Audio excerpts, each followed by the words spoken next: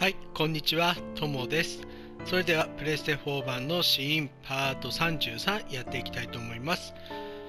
えー、前回ね、えっ、と、ヒロちゃんがちょっと取り憑かれたのがね、呪いかなんかでちょっとおかしくなっちゃいましたが、その後無事でしょうか。では、とりあえず2日目の探索進めていきたいと思います。えーと、これはこの後出かけるでいいのかな？そうだよ、そう2日目は1人なのかな。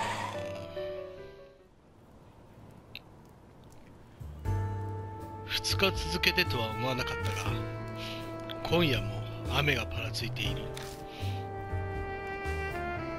調査には格好のシチュエーションだな。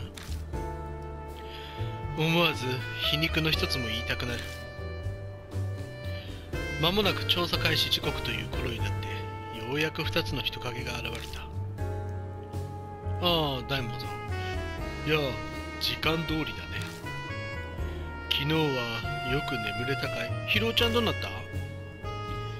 昨夜のことがあったからだろう。大門の顔には疲労の跡が見えハロー今日はわしの出番じゃなシクヤロた。バンシー、お前か。バンシー？これは予想外だった。まさかバンシーとか援軍に来るとは確かに予想外だった。しかし、霊的な力は確かな人物だ。安岡の見立ては正しいと言える。だが、今はそんなことより、疲労の容態はどうだ？今は安定しているよ。急性の症状は特に見られない。とはいえ、まだ意識は戻ってないし体力の消耗も激しい。楽観的に見てもいい状況とは言い難いね。このままでは命の危険もある。そうか。覚悟はしていたが医師である大門から聞くとより事態は深刻に感じられた。困るのは症状の原因がわからないことさ。毒物によるものだとは見当をつけてるがどんな毒なのかわからなければお手上げだ。さらに困ったことに毒を注入されたような外傷すら見つかっていないときた血清を打ったりはできないのか。普通毒と聞いて思いつくのはそういう対処だと思うんだ。大門は呆れ顔でというより半ば怒った様子で首を振った。適当なこう適当な購読血清を試せということ？ヒロ君を殺したいならそうするよ。もし仮に毒を入手できたとしても血清を作るには時間がかかる。とても間に合わないさ。八方塞がりということか。何か手がかりが欲しいな。ネオンの海に沈むマスカレードを見上げた。だね。期待はできないが絶望もしないでおこう。そうだ。一応伝えておくが。大門は改まった様子でこちらを見据えた。ヒロ君の体に印はなかったよ。そうか。ということは今起きているの悪夢の再現ではないことになる。吐息とともに胸に疑っていたものが溶け出し足元から流れ出ていくように感じた。実は俺も調べたんだ。昨晩寝る前に暗いってどうだっ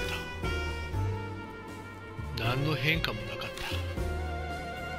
た。あの切り箱は封印した時のままだった。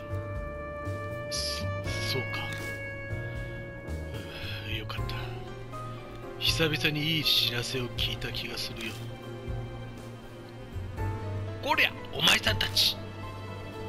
いつまで小難しい話をしとるんじゃ。さっさとホテルに行くぞい。ああ、すまない。待たせてしまったな。今日はこれで全員だよね。一瞬瑛太の顔が浮かび言葉に詰まったがしかし全員だ。調査を始めよう。おいった。ならさっさと行くぞい。あまりに威勢のいい返事に逆に不安を覚える。なぜバンシーはこんなにやる気を出しているのだろう。何でもいいけどじいさん廃墟といっても盗みは犯罪だからね。何しろ元刑事さんからの依頼なんだ。下手な真似をしたらし失礼なことを抜かすな。わしは盗みなどせんぞ。ただ世のため人のために一肌脱ぐ気に。ええー、何でもいいわい。早く調査に参るぞ。図星だったらしい。バンシーは逃げるように一人先立ってホテルへかけていった。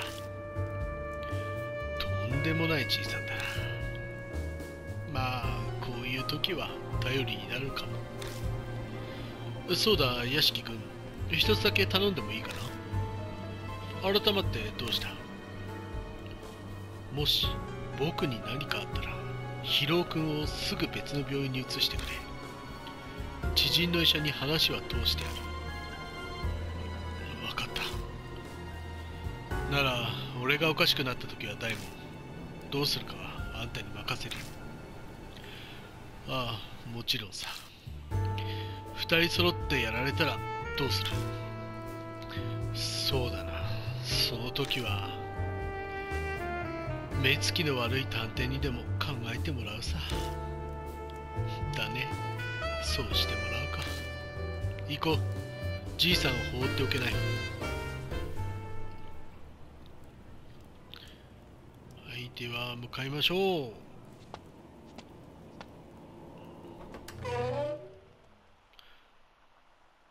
おう中はきれいじゃのう中はまだきれいじゃのう中に足を踏み入れるなりバンシーがウキウキとした声を上げた。ふーむ、わしのセカンドハウスとして考えてもいいやもしれん。おっと、あのケースはなんじゃい？などと言いながら早速物色を始めた。じいさん、だからダメだって。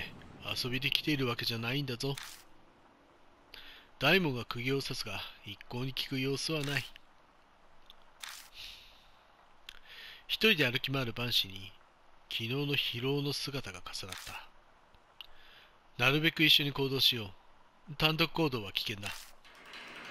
ああ、そうだね。ほら、じいさん、聞いてるのかい？わーっとるわい。返事だけはいいが、聞く耳は持たないらしい。やれやれだな。それで屋敷君、昨日は3回まで調査したんだよね。ということは、今日は4階より上を調べるべきだと思うが、あ、ああ、そうなんだが、何か問題でもあるのかい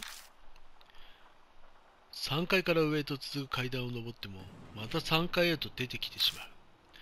昨日遭遇した謎の現象について、大門たちに説明をした。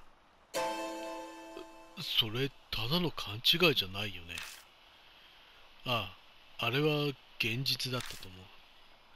それが本当なら、弱ったな。4階に行く方法がないじゃないか。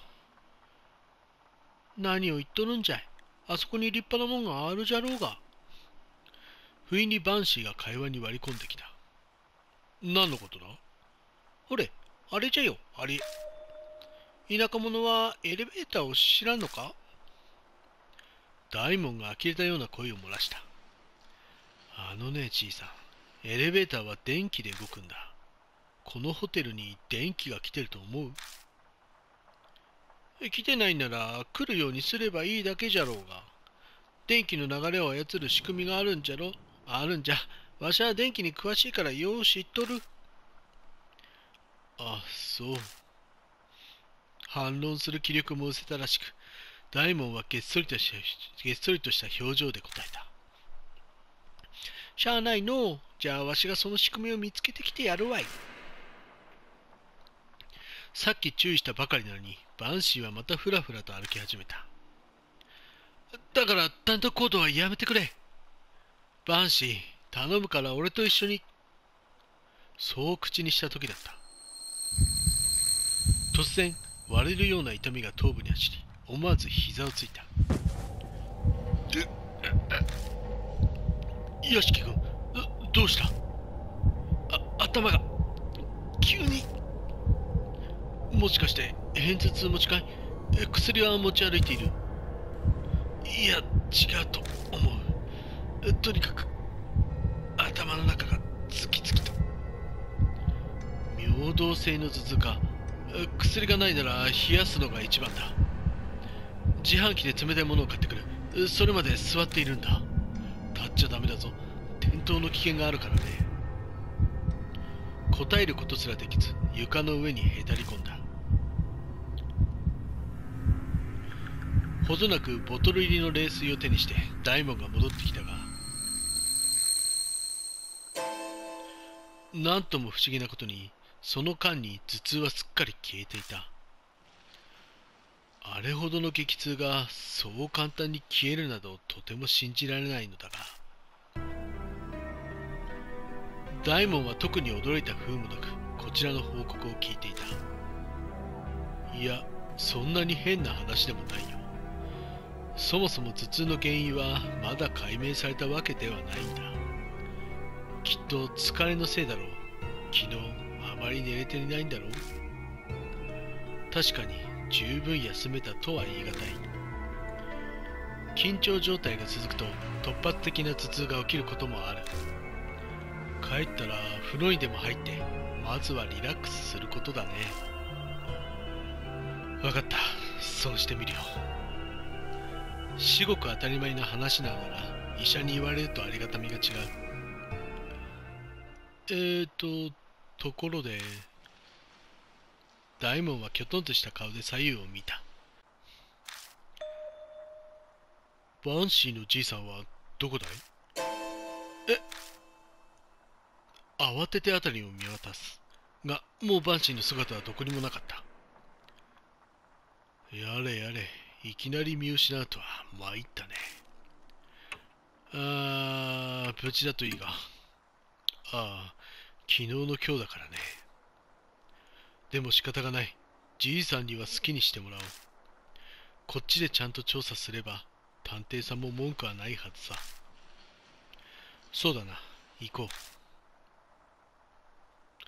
てことは3階までとりあえず行くのかな。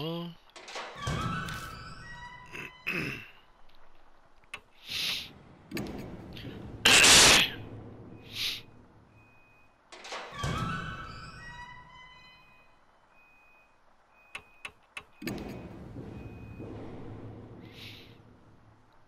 3階まで来ました。では、新たに、はじめ、ね、見てみましょうかね。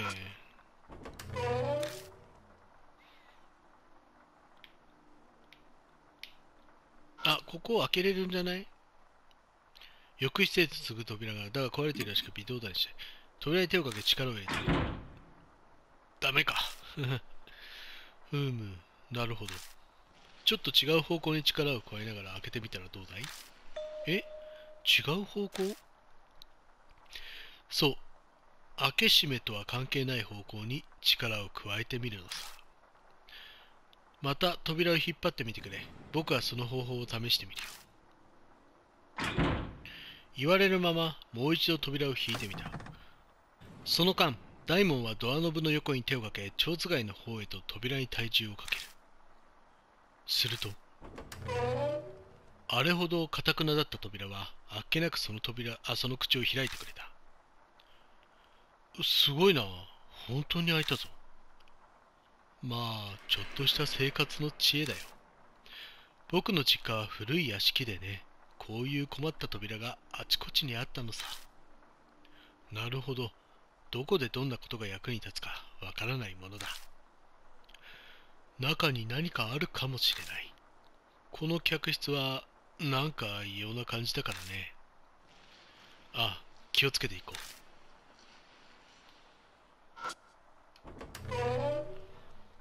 浴室に続く扉を開けた。ここも調べるか。あ、なんか揃ってるよ。棚に棚に並ぶ容器を片っ端から手に取って確認していくその途中で中身の残ったチューブを見つけた。歯磨き粉かと思いラベルを確かめるとワセリンを手に入れた。白色ワセリンか。潤滑剤や保湿剤として使われるものだね。なるほど。役に立つかもしれないな。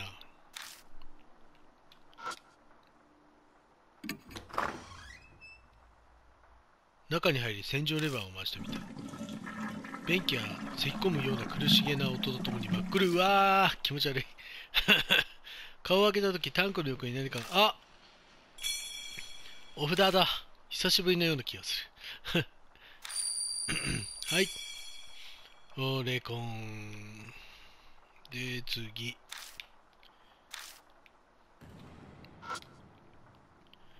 洗面台の排水口付近に赤黒い汚れが付着。わあ血じゃない？あーやっぱりこびりついた血の量から察すると相当量の血が流されたと考えられる。ここで何があったのだろうか。うわー手が。ガラス張りの浴室だ。奥にはそれなりに豪華なバスタブがある。浴室に踏み込みバスタブの中を漁った。ん？するとすぐに短く切った丸太のような大きなものが転がっていることに気づいた。これは何だ？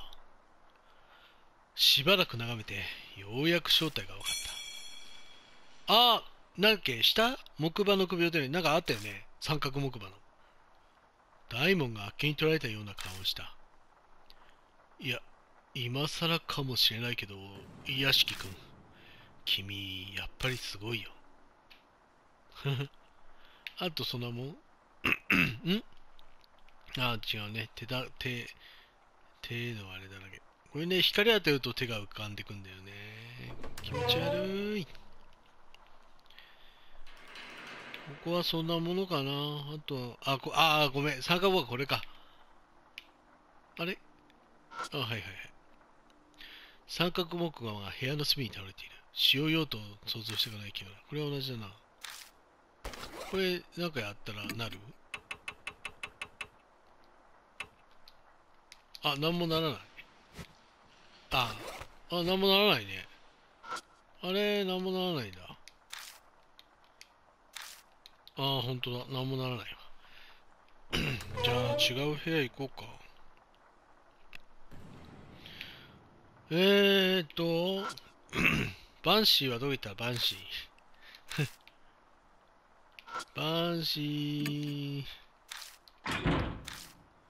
ここら辺はもう同じだね。はい、と、ちょっと省略したんですけど、あの後3階の他の部屋と2階のもう1個の部屋調べまして、特に何もなかったんですけど、えっと、ここ、あの、ベッドでね、あの、ヒロちゃんの時はダメだったやつ。ここになんかあることを思い出して、今やってきました。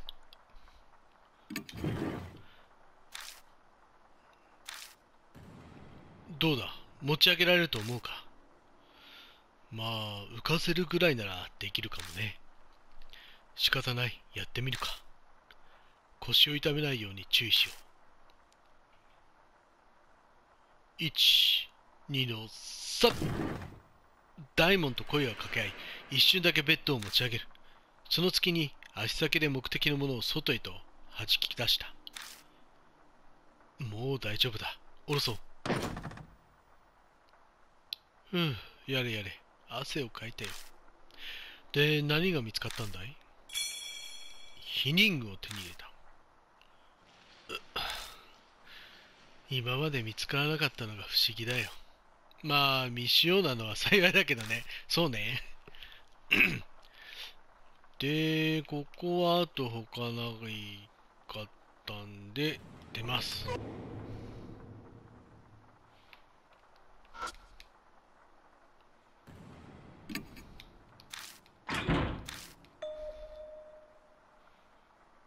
一人 はい。やってみるか。手を貸してくれ。よし、健康になった僕の本気を見せてやろう。行くぞ。せーの。二度三度力を振り絞って扉をこじ開けようとする。するとお何かが割れるような音とともに急にドアの抵抗感がなくなった。こ壊しちゃったかな。かもしれない。多分平気だとは思うが。しかしこれでエレベーターの中も調べられそうだね。早速入ってみようか。中怖いな。しかしここまで来るのなかったです。もうわかんなくてどれやってもアイテム使ってもらうのでここかーっていう感じでしたけど。えーと、その間はちょっとカットさせていただきましたので、ご了承ください。えー、では、エレベーターの中、調べる？調べる？え、中、え、中？え、中？え？どうやって調べる？あれ？何も点滅さたないな。あれ？ああ、そういうことか。進めばいいのか。手でドアを開けて乗り込むのはとても奇妙な感じがする。大門は律儀にも中に入るときに一度開けた扉をきっちり閉め直した。いや、なんかエレベーターのドアって開きっぱなしだと怖くないかい？いや、逆に今開けといた方がいいわ。すぐ逃げられるように。確かに、これも習慣かもしれない。し、しかし、天井に見える、わー、雲の巣か。ああ、そうみたいだね。こういう閉鎖された空間は巣を張るのに向いているのかもしれない。さてと、どこから見てみる？わあ、あ、なんか、コード切れてるね。天板に開いた穴からケーブルが飛び出している。照明が取り付けられていたと思われるが、何らかの理由で外されてしまっているようだ。うーん、うーん。1階から5階までのボタンが並んでいる。ボタンを押してみる。分かっていたことだから何も反応はない。うー、ん手あるし、ほら。あー、なんか 女の人いたし。ホテル各階の案内のようだ。1階から6階までの部屋番号が書いてある。触れてみると、べったりと埃汚れが指先にこびりついた。ふむ、6階は VIP ルームかな？ここだけわざわざ表示の色が変えてあるよ。ん？ちょっと待ってくれ。おかしくないか？ああ、確かに変だね。ボタンは5階までだ。なのに、施設の案内は6階まであるわけか。気になるねこれは。ひょっとして6階には階段でしか行けないとか6階は特別室のようだからそれはないんじゃないかな階段でしか行けない VIP ルームなんて聞いたことがないもっともな指摘だ。一番の乗客に階段を使わせるわけがない。しかしだとするとこの表示の食い違いは何を意味しているのだろうふとバンシーがエレベーターに携わっていたことを思い出した。まるでこんな秘密が隠されていると最初から分かっていたみたい。ださすがバンシー勘がいいのかな。結局のところ動かしてみるしかないのかもしれないな。え？何を動かすって？だからバンシーの言っていた通りにこのエレベーターをだよ突然何を言い出すのか大門はそんな表情でこちらを見つめた。知っての通りバンシーにはちょっと得体の知れない力がある。だとしたらここはそれにかけてみるのもありなのかもしれない。とはいえバンシー説には大きな欠点がある。問題はどうやって動かせばいいのか見当もつかない点だが。うむなるほどね。呆れられるかと思いきや、大門はしばらくの間、何か考え込み、そしてゆっくりと話し始めた。屋敷君、実を言うとね、僕はあれからずっと考えていたんだ。何の話だ？なぜ僕らは生き残れたのか。言い換えれば、なぜ怪異は消滅したのか。その理由についてずっと考えていた。大門の話は意外なものだった。苦い思い出でも語るように彼は話を続けた。怪異が消滅する理由、それは明らかに物理的な事情ではない。何かもっと意味的な理由で彼らは消滅したという印象があったんだ。でなければ、のみで削ったくらいで、あの巨大な観音兵が消えるわけがない。そして一つの答えに至ったわけだ僕らが経験した怪異との戦いあれは実際には戦いではなく多分約束事のある儀式なんだ。儀式。そう。神事と同じだ。怪異の前に祀られる儀式なんだ。儀式とは何かを再現することだ。もちろん本当に起きるわけじゃない。でもそれをやることで向こう側にいる彼らを納得させられるかもしれない。そうすればことはなるつまり怪異の場合には消滅してくれた。そして印を消してくれたわけか。概念あ疑念的な話ではあるが大門の説明には体験した者だけがわかる説得力があった。例えば花彦君は口紅と手がかみによって消滅したが考えてみればこれは母親との接点思い出を再現したとも言える大門の言う通り儀式を再現と定義すれば確かに怪異との戦いは儀式なのかもしれないそれは分かったしかし幻聴とどんな関係？これも儀式ってことね。そういうことさ。僕らにエレベーターは直せない。これは自明だ。しかし、儀式ならできるはずだ。要するに、その真似事だね。つまり、エレベーターを動かすための儀式をしろというわけか。なんだか、ままごとみたいだな。遊びと違って儀式は真剣なものだよ地鎮祭や上等式ではしゃいでいる大人はいないだろう確かに。これが怪異と同じような何らかの想念にとらわれている者の仕業ならそれで何かが起こるかもしれない。とはいえこれは君が依頼された調査だどうするかは君に任せるよ。修理の儀式。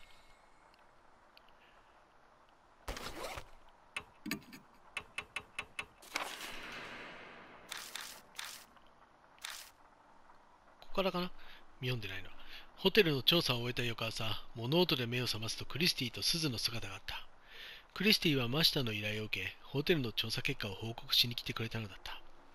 それによると、マスカレードと違法サービスの関係は、有名な話だったようだ。にもかかわらず報道されなかったのはあくまで噂だが顧客名簿に政財界の大物が並んでいたからであるというエレベーターを調べていると奇妙なことに気づいた。施設案内には6階があるのにボタンは5階までしかない。この不一致は何を意味しているのだろうか。結局バンシーの言った通りエレベーターを動かしてみるしかないのかもしれない。しかしどうやって？その時大門が不思議なことを言い始めた。本当の修理は無理でもその真似事、つまり儀式としての修理をすればいいのではないかという説だ。確かにカイラは彼らの想念を解放することで消えてくれた。仮にそれと同じ原理ならば、エレベーターも動くかもしれない。儀式についての手がかりはホテルの中にあるはず。調査を続けよう。はい、えー、ではいい時間になったと思うので、えーと、今回はえー、これで終わりたいと思います。なかなかね、なんかちょっと少しずつ少しずつしか進んでない印象ですけれども、え、ー、と、頑張ってまたやりたいと思います。